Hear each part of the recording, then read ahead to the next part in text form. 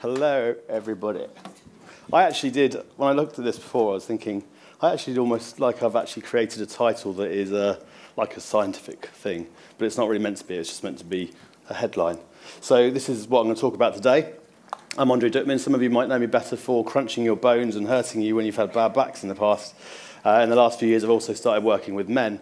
Uh, and this is some of my story about exactly what I do and where I've been. So in the last five years, uh, I think five years ago, so 2011, people would probably have looked at me uh, and from the outside they'd have thought, hey, Andre got a pretty successful life. I was married, I had a lovely supportive wife, uh, a very lovely daughter, a job that was very rewarding for me. I had my own health practice, as I still do. And uh, yeah, life seemed perfect and, and very happy, and probably most people would think that I was doing pretty well the reverse was actually true. In many ways, I was okay, but I was also struggling quite a lot to uh, really connect with some of the deeper stuff that was going on in my life. Uh, I was sort of drinking probably way too much. I was not particularly healthy, uh, and I was struggling at home and in my marriage.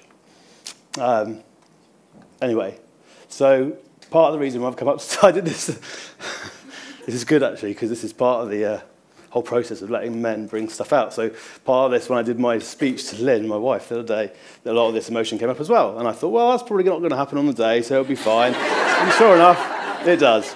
But anyway, so part of what I want to speak to you about today, as I've spent some of my time, oh, my timer is still at 18 minutes, Mark. That's good. yes, I get more minutes. Uh, yeah, so part of what I want to speak to you today is why I feel that we have a society, we are really letting our boys down and our teenagers.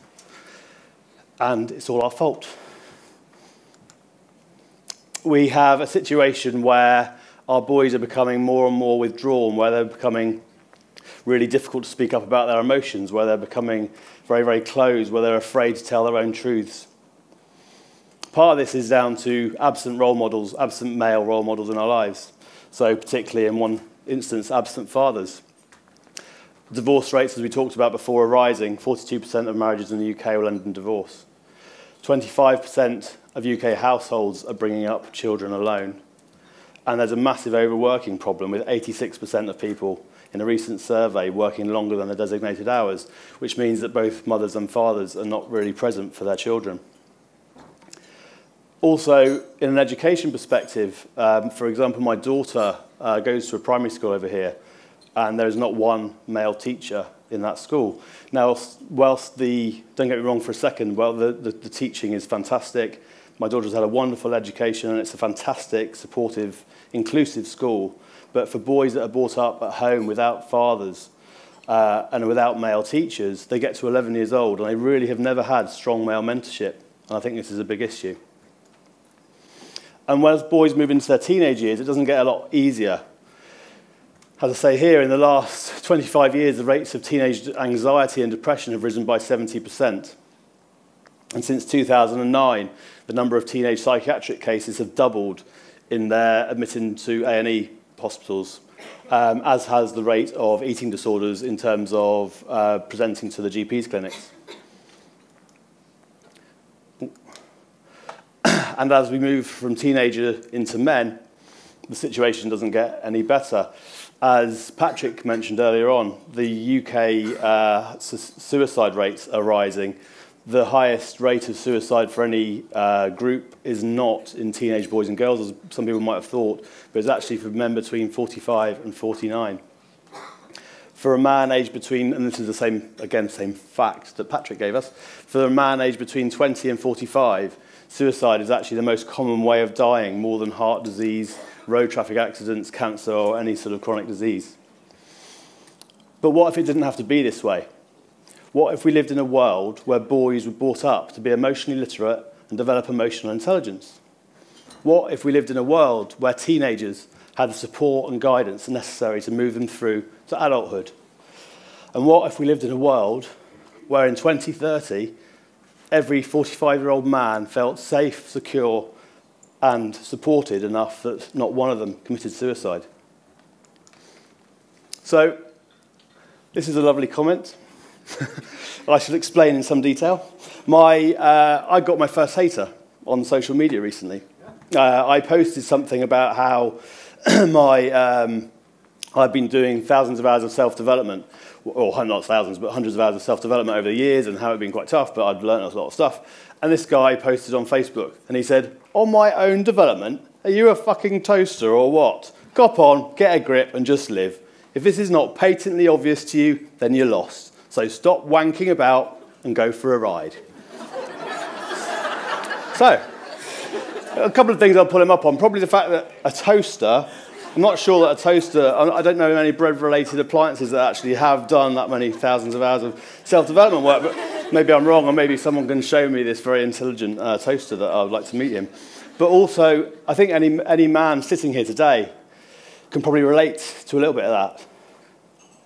The fact that men are very quick to discuss and to abuse and to put down other men and boys. Um, and it happens in the playground, it happens from a very, very early age. Boys learn to hide their own truths. They learn to withdraw and they learn to really pull back from really engaging with other men around them, other boys around them. Was that from Donald Trump? yeah, it is actually, yes. It was Donald Trump. And luckily, uh, I didn't meet him in a corridor, so I didn't get a grope from him, which is always good. Or maybe, maybe I did. this is actually why I'm crying, because Donald Trump groped me in a corridor. Uh, so, a very well renowned Harvard professor, Judy Chu, um, did some really amazing work on looking at child development. She noted that when boys were four and five years old, they actually had an amazing ability to read other children's, other people's emotions. Uh, they could um, they could empathise with other people's uh, emotions as well, and they could read what was going on exactly the same way that the four and five year old girls could.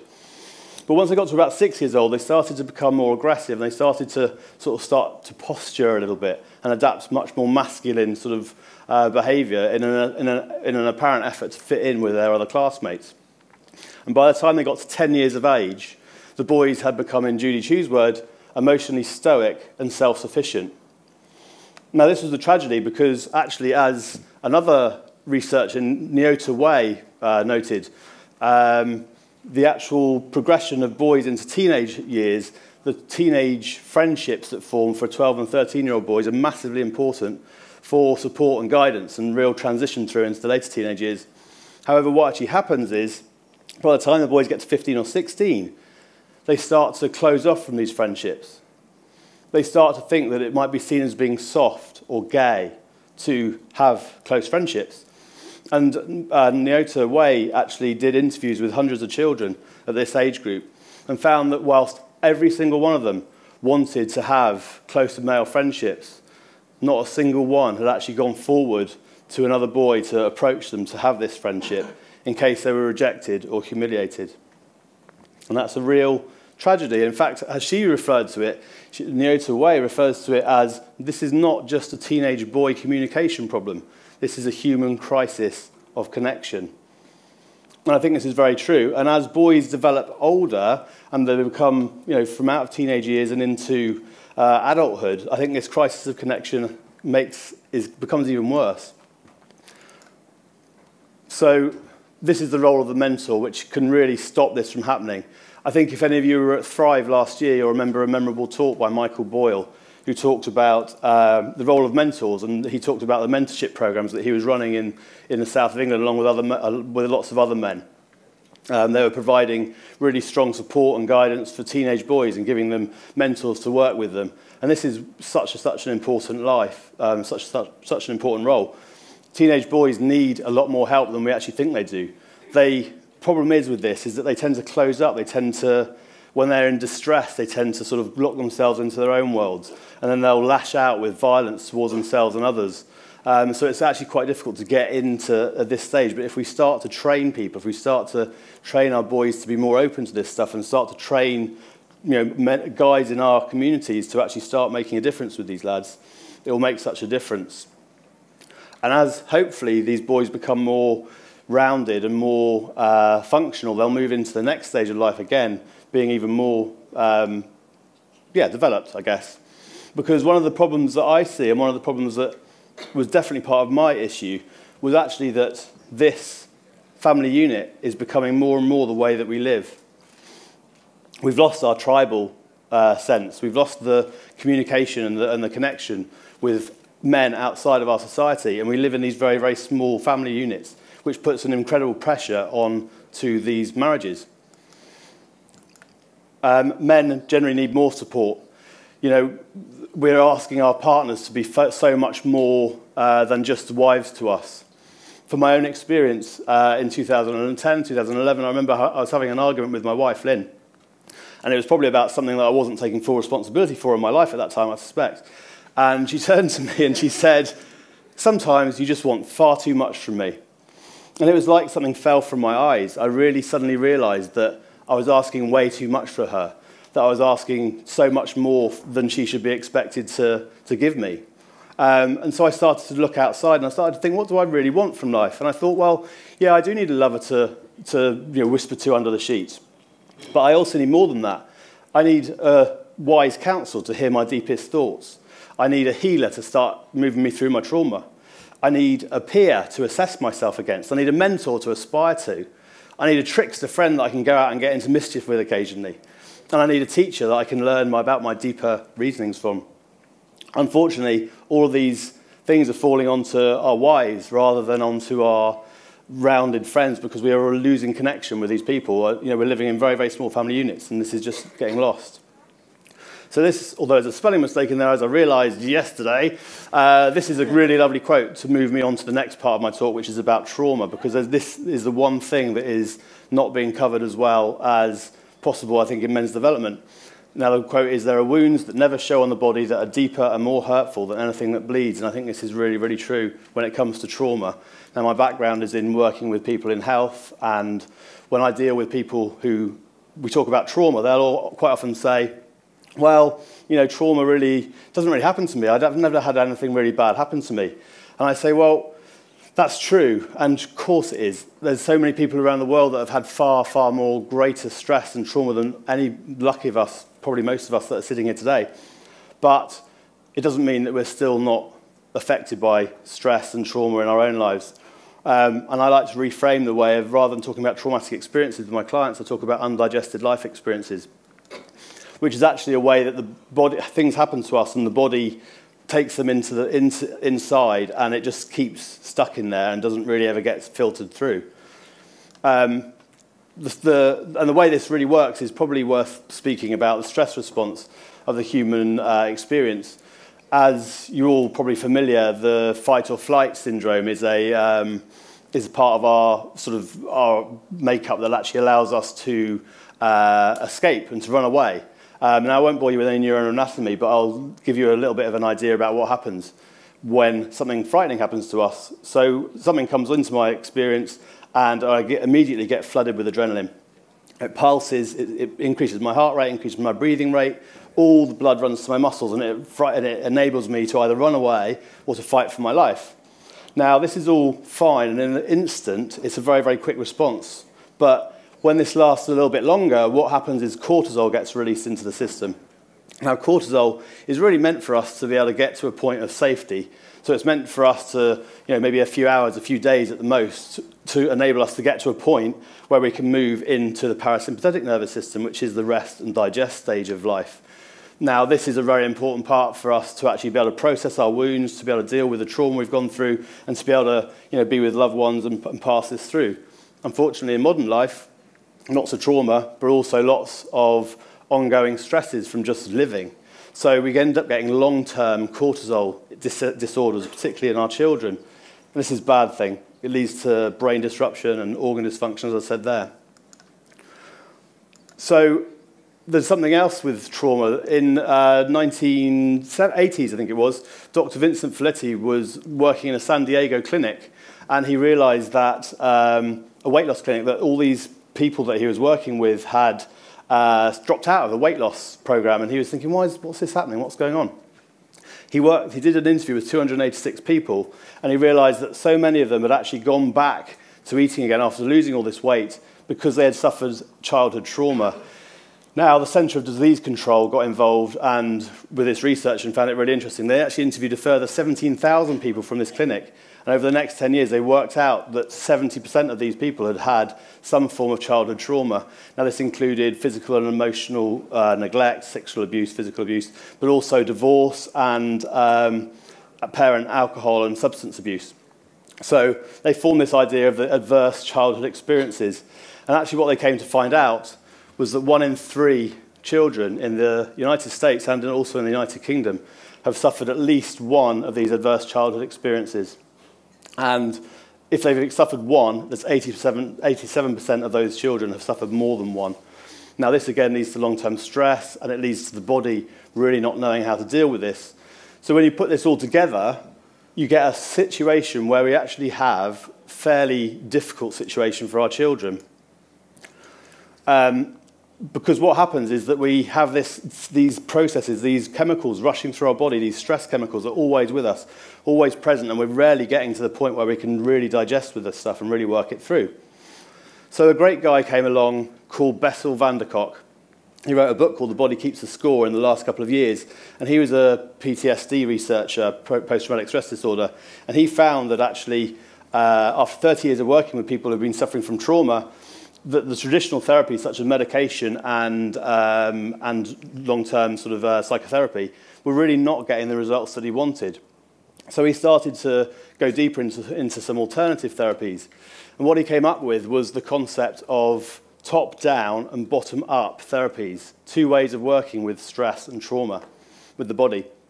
So top-down were things like mindfulness and meditation – the idea is that you work with the cortex, the, with the brain, and, and allow sort of feelings of of, of uh, release and, and, and you know, stress relief and all that sort of stuff to filter down through the rest of the body, giving the, the user a feeling of, of relief from the stress and trauma.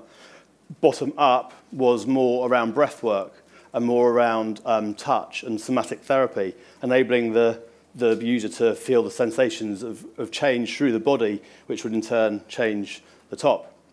Now, in my last two minutes and 48 seconds, what I see is a real opportunity for change, for us to be able to start working with our boys in a much deeper way.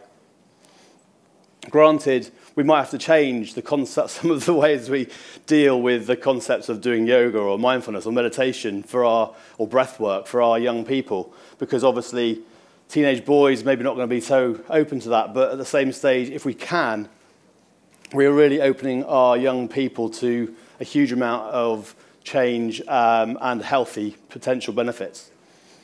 So these are the guys. these are the three ways we can start to work with, the, work with these processes. So to sum it all up, really, in my last two minutes, I would say that when you put everything together, that I've just talked about, I see a world of possibility as, long, as well as a world that is not functioning so well now. There is a huge potential for change. Because what if we could help our teens deal with this stress? What if we could really get them into their bodies and start to really feel their emotions at a deeper level? Because I believe this is possible. I believe it is possible that we could live a world where our boys grew up in an environment where they felt free to express their emotions and where they felt free to do so without fear of abuse.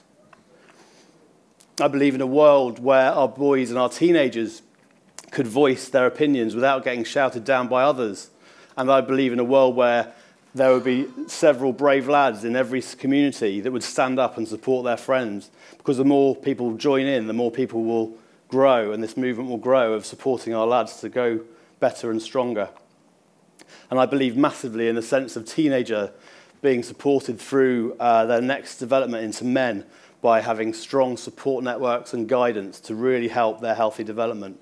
Because once these guys become teenagers and become healthy, mature adults, they will make for better fathers, they will make for better husbands and partners, and they will make for better friends and mentors for those boys around them that need the help. And as we change the circle, so everything will change and move forward and upwards. Thank you for your time.